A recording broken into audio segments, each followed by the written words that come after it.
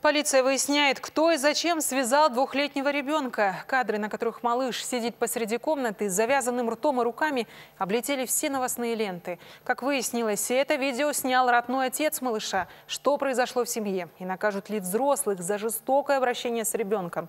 Узнавал Бахром Абдулаев. Сынок, кто тебя связал? Что случилось? Скандал, крики и в центре всего малыш связанный по рукам. Рот ребенка перевязан платком. В комнате разбросаны вещи. Лицо ребенка мы не показываем в соответствии с законом о СМИ. Выяснилось, что видео снято в Сарагашском районе отцом двухлетнего мальчика Багланом Езбутаевым. В телефонном разговоре он рассказал, что ребенка связала его бывшая жена во время скандала из-за алиментов.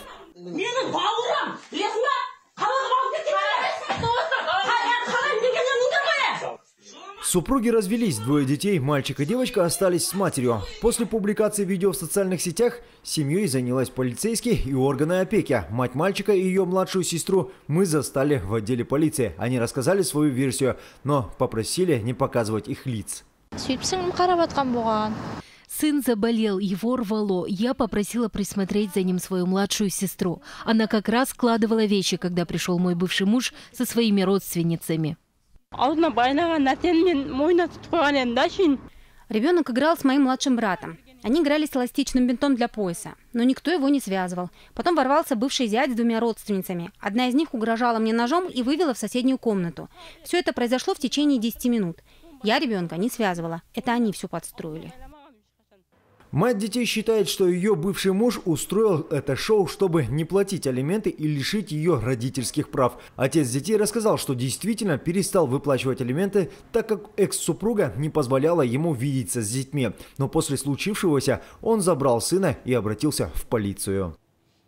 Данный факт полицейские зарегистрировали по статье 140 Уголовного кодекса Республики Казахстан неисполнение обязанностей по воспитанию несовершеннолетнего. В ходе досудебного расследования полиции будут устанавливаться лица, причастные к данному проступку. В полиции также сообщили, что экспертиза не выявила телесных повреждений у ребенка. Мать детей написала встречное заявление в отношении бывшего мужа и его родственниц. Бахром Абдулаев, Виталий Заинтинов, Информбюро, Туркестанская область. Будьте в курсе событий, происходящих в нашей стране. Подписывайтесь на наш канал в YouTube, ставьте лайки, оставляйте комментарии и не забудьте включить колокольчик, чтобы первыми увидеть все самое важное.